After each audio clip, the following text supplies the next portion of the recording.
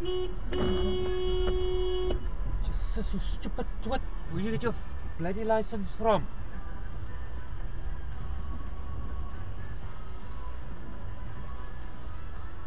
Such Stupid dog.